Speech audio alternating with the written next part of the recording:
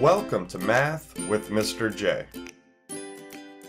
In this video, I'm going to cover how to add decimals. Now, if you're able to add whole numbers, you're going to be able to add decimals. Just a couple of different things as far as setting up the problems go. If you get how to set up the problems, you're going to be good to go. Let's jump into our examples and start with number one, where we have 18 and 4 tenths plus 6 and 72 hundredths. So when we set these problems up, we want to make sure that we line our decimals up. That's going to line up all of our places. So number one, we're going to do 18 and 4 tenths plus 6 and 72 hundredths. Notice how the decimals are lined up. Now it may look a little offset there, but we can use placeholder zeros to better align this and make it uh, look a little more organized. Meaning 18 and 4 tenths, we can put a zero in the hundredths place. That way we look a little more lined up. Remember, zeros to the right of a decimal do not change the value. That's an equivalent decimal, so we are able to do that. We're not changing the value of the problem. Once we have that, we add. Start with the hundredths place. So 0 plus 2 is 2.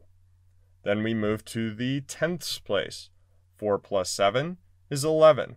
So put our 1 and regroup or carry there. Now bring our decimal straight down. It's lined up throughout the entire problem. Now we add the ones. 1 plus 8 is 9, plus 6 is 15. Regroup or carry the 1. Now we add the tens place. 1 plus 1 is 2. So we get 25 and 12 hundredths. To recap, as far as where we put the decimal in our answer, the decimal should be lined up throughout the entire problem, so we bring it straight down.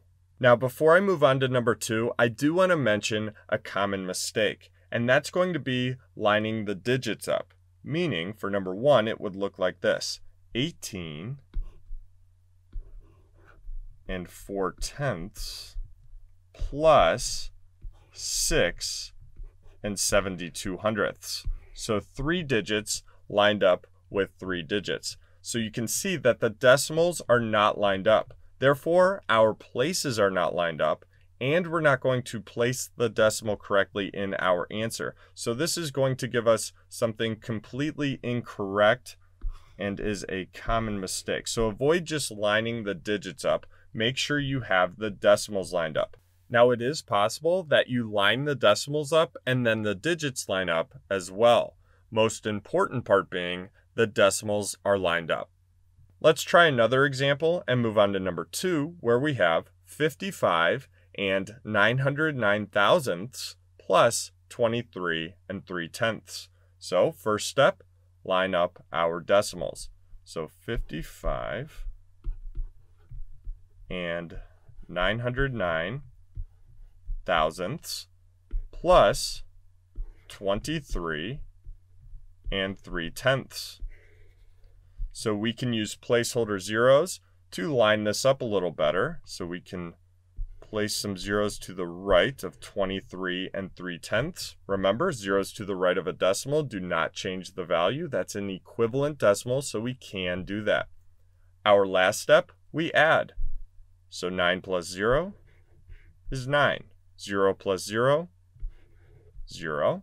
9 plus 3 is 12. Regroup or carry the 1. Our decimal comes straight down. Then we add the 1s. 1 plus 5 is 6, plus 3 is 9. And then we end with the 10s. So 5 plus 2 is 7. So our final answer, 79 and 209 thousandths. So there you have it. There's how you add decimals. I hope that helped. Thanks so much for watching. Until next time, peace.